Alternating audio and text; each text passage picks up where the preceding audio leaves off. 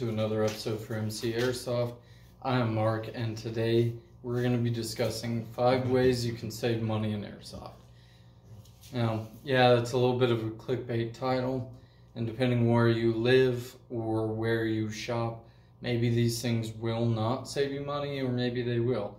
But overall, I think most people will save some money if they do some variation of these five things, right?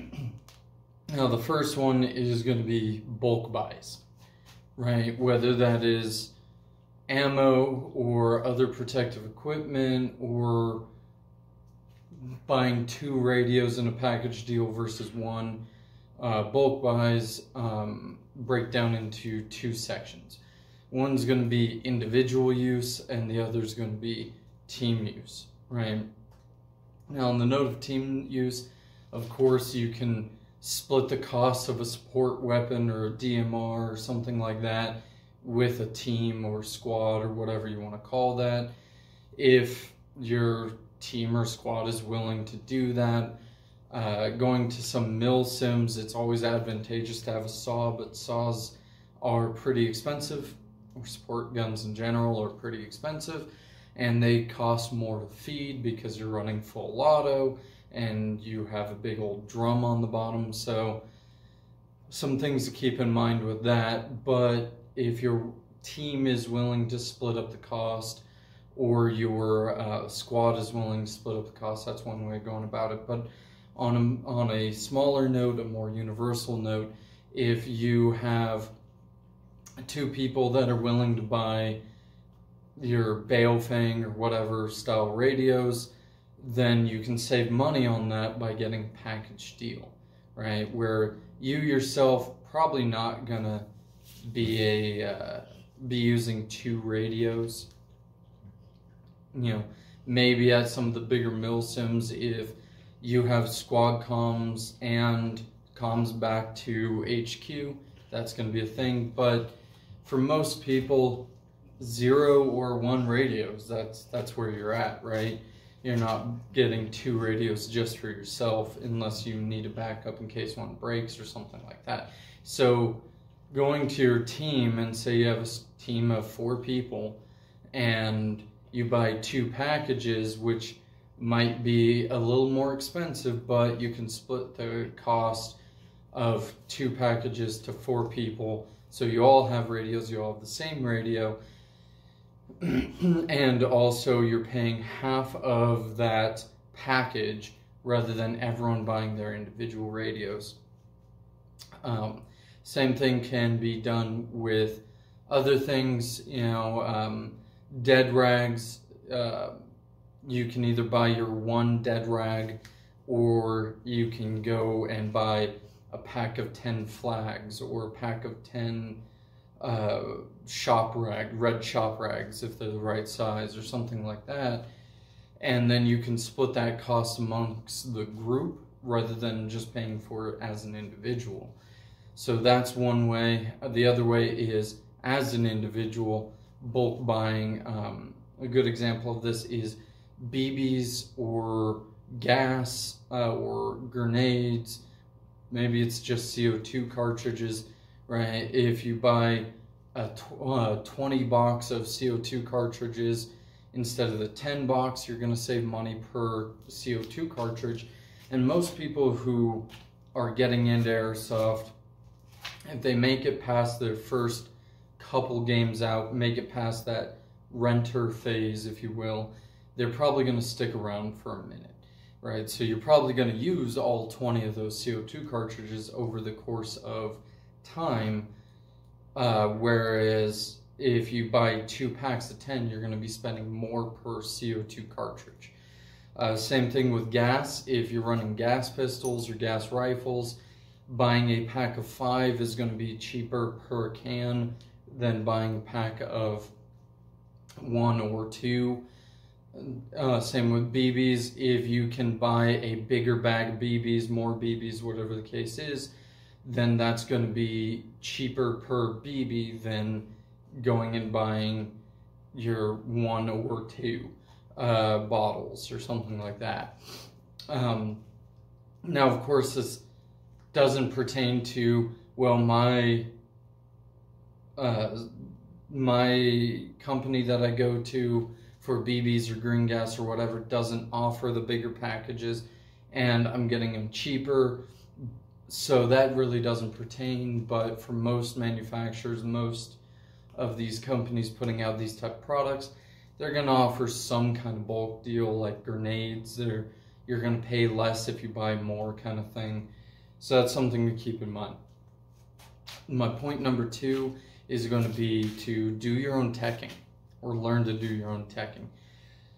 For the price that a lot of people are charging for tech work, now, of course, if you have you know one guy in your group who does all the teching for free, that's one thing, right? But uh, for most people, if you have to go pay a tech, it might be more uh, beneficial in the long run to learn to do the teching yourself, to do the, all the, your own work, because one, you get more intimate knowledge, so you know, okay, my gun made this noise or uh, stopped working in this way.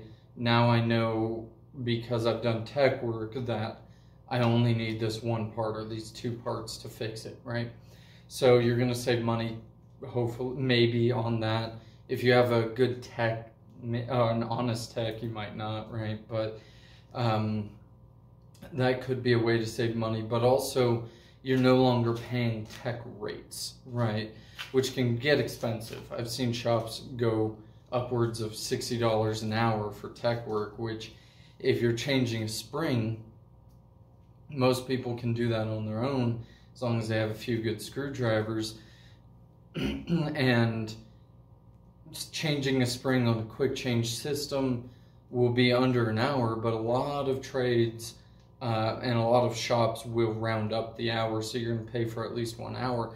So changing that spring, it's going to be you know ten to twenty dollars for a spring, but then another surcharge of uh, sixty dollars or so to for the tech to go in take out your gearbox, pop out the old spring, pop in new spring, whatever the case is, and you're going to end up paying that extra $60. Um, you know, if you're changing out a gear set, that shouldn't take more than an hour or two, depending on your gearbox.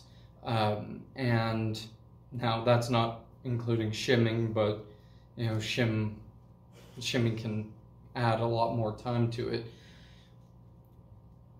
But you know changing out the gears should take an hour or two. You're paying 20 30 40 maybe dollars for a gear set and then you're paying the tech 120 or however much for that. Learning to do your own tech work is going to be hugely beneficial and even if it's even if you're looking at it as okay, I don't have any tools. I need to buy a Dremel. I need to buy a screwdriver set. I need to buy, you know, a dead blow, things like that. That money, in my opinion, is better spent on tools and learning to do it yourself rather than trying to pay someone else to do it. Um, and then over time, if you stick with the hobby, you know, four or five years down the road, you're still maybe using the same tools that you started with, as long as you buy good tools, and then you're no longer paying tax, so you're saving that money. And not knocking techs, obviously they know more than the average person about the internal workings or maybe external workings of uh, the airsoft guns, but you know, if you're looking to save money because airsoft can be a very expensive hobby, that's a good way of doing it. Third point, and maybe I should have made this number five, but uh, because of its importance, but you know, um, it's uh, where I put it on the list. It's going to be research, and that breaks down into three categories. One is going to be reading, you know, going on forums, reading reviews on a website, uh, whether that's a shop or just a review site or something of that nature. You know, going around and finding all the info you can because a lot of people will stick just to YouTube videos.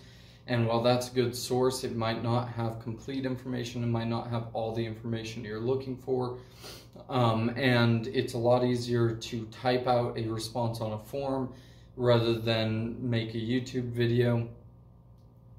So you're going to get more opinions, generally speaking, if you go through a form or written um, sources and then if you're solely sticking to YouTube. Now, if you have that one or two people you trust on YouTube, go for it. But for the average person, if you're trying to figure out, is this spring good? Is this gear set good? Is this um, is this rail system going to fit onto my rifle? It's going to be more beneficial, generally speaking, to search forms and things like and reviews on uh, written reviews. That is uh, online than it is going to be to look through all your um, YouTube videos. Now, if there's a lot of YouTube videos on it, which typically for guns, there's more YouTube videos. Typically for parts and other things like that, it's going to be more written. Uh, that's just what I've noticed. Although your product that you're looking for might vary that. Um, the second one is going to be reviews. Uh, so the first one is more just people talking back and forth about a thing. Um, the second one is just going to be purely reviews, whether that's from a shop or that is from a YouTuber or that is from someone who has a blog or you know, whatever the case is, just looking at an overview. Now, this generally pertains more to uh, your guns, your end items, rather than parts but you can still find good information on parts. So that's something to think about. Um, but look at your reviews, figure out not only is it good or bad, but is it going to work for what you're doing? For instance, if you take four reviews on, let's say, an adaptive armament PRC-15, well, three reviews might say it's shooting below 400, which it definitely was when I chronoed mine. But then you get two reviews saying it's shooting over 400 and your field's limit is 400. Well, that's going to be an issue, right? Or 350 if you're playing at an indoor field, or 300, whatever the case is. Um, this gets a little more um, beneficial looking into multiple reviews if you're looking at gas operated um, airsoft guns being that if I, where I am right now, living at about 2,400 feet above sea level, I'm going to have a certain performance out of gas weapons. Whereas if I go down the hill to the next city over and I'm down at about 400 feet above sea level, I might be shooting a little bit hotter. It might work a little bit better. Certain people live in a colder climate, certain people live in a warmer climate, so that's going to affect things. Um, also, maybe if you only look at one review, that person got a lemon or that person got a good one.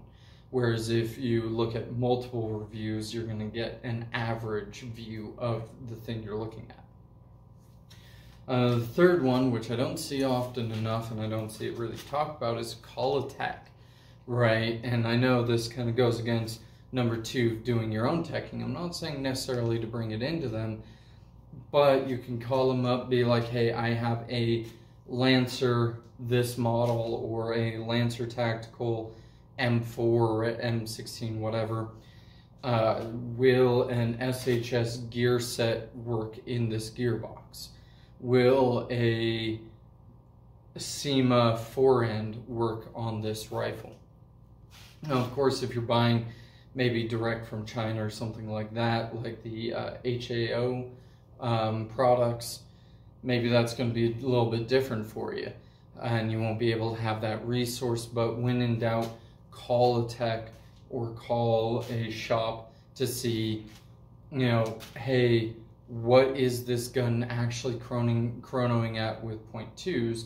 And if it's a local shop, they might be able to uh, put BBs in it, fire it for you, get a chronograph reading for you because especially if like where I live, the closest um, airsoft store is three hours away. You can call up and be like, hey, I am coming in to get this rifle. I want to make sure that it is shooting below my field's limits. Can you chrono it? Um, that way I'm not wasting a three or four hour drive. Um, so that's that can be an option as well or you know calling a tech to make sure certain parts are going to fit be like hey i'm ordering a max pro hop up unit.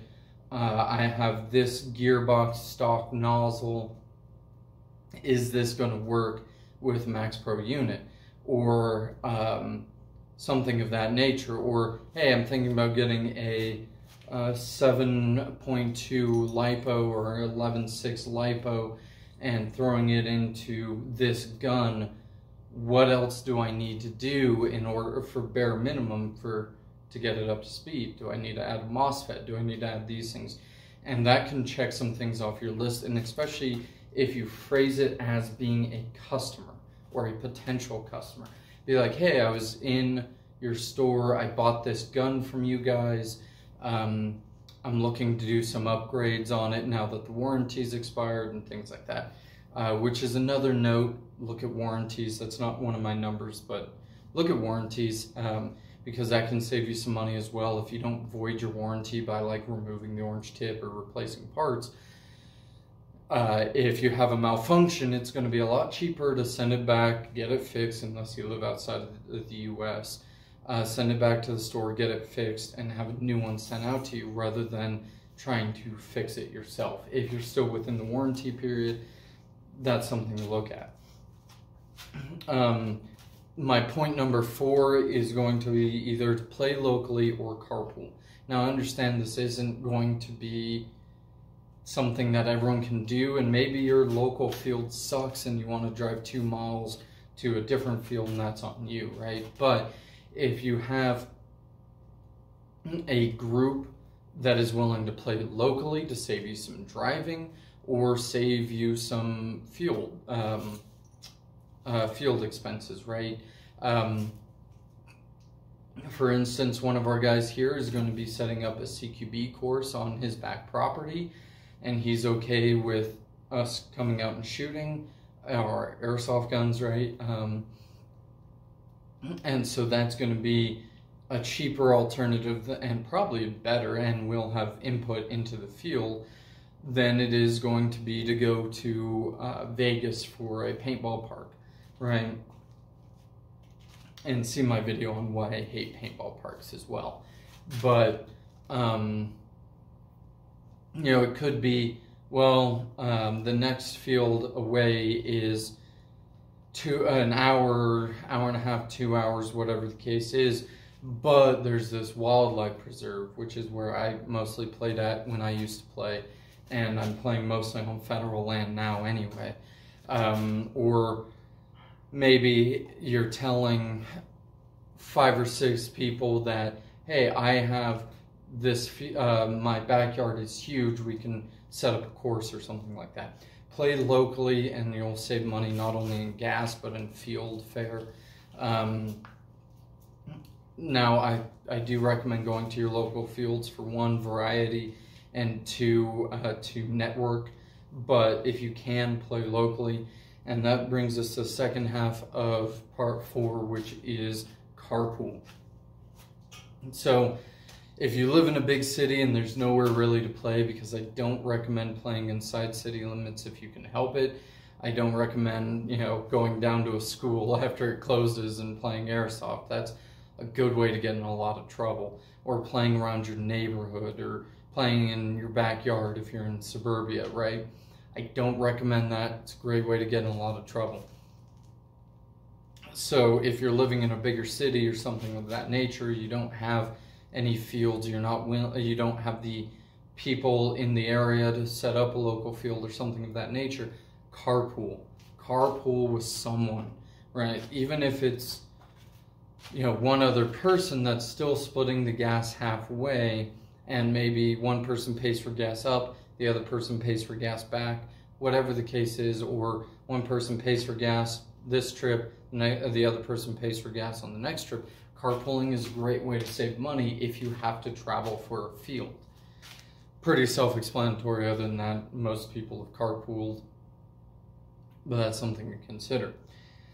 Uh, five is if you've seen one of my other videos um, on this same subject, you'll uh, you'll know it already. Uh, but um, if not, go check that video out. Um, but it's going to be to buy inexpensive uh, uh, guns and upgrade them, right? Because one, you're going to generally speaking um, get a better product, right? uh, or not necessarily better overall, but better for suited for what you want. Um, and two, you're generally speaking going to save some money on that. Now, what I would recommend with that is buy the gun you like externally and then upgrade, right? If you buy a gun um, like this, which is an adaptive armament PRC 15, which is pretty well good. All I've done is change the um, spring and right now I'm running the barrel from my Mark 12 because that's down for repairs. But this is a really good base rifle, but I didn't like it externally. Externally, I've spent more money than internal repairs. So if I'd spent the extra a little bit and bought the gun that I like externally uh, and then upgraded the internals, probably would have been better off doing that. So that's something to keep in mind. Uh, external parts are generally fairly expensive for what you're getting, right? The rail system on this was $100. The uh, flash suppressor was $25. Um, those are things that don't really matter to the functionality of it. So, you know, if you want something unique or special or whatever, you're going to pay for that, obviously. But but try and find something you you like externally and only upgrade the internals.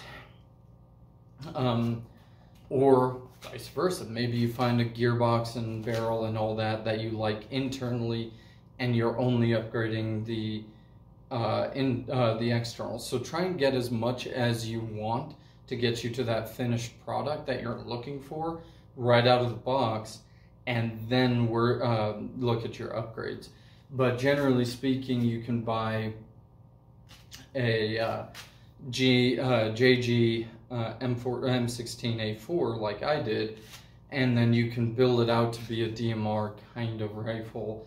I know it's not 7.62, but whatever. Most people don't care about that.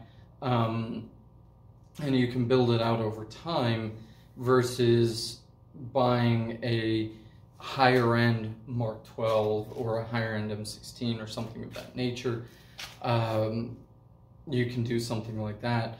Um, for instance, a VFC gearbox is only in the range of $100 or so. So you can take that G&G, or sorry, JG M16, drop a uh, VFC gearbox, and yeah, the externals aren't as good, but you can drop that gearbox in there and have a lot of the same performances, if not the exact same performances, especially once you change out the hop up unit and barrel, which altogether you're still under that $400 mark that you're probably paying for an equivalent rifle from um, from one of the higher end manufacturers, right? Um, this kind of also plays into the research aspect of do your research, find as many parts as you like in a gun for as cheap as you can and then worry about getting upgrades from there and you're going to save money.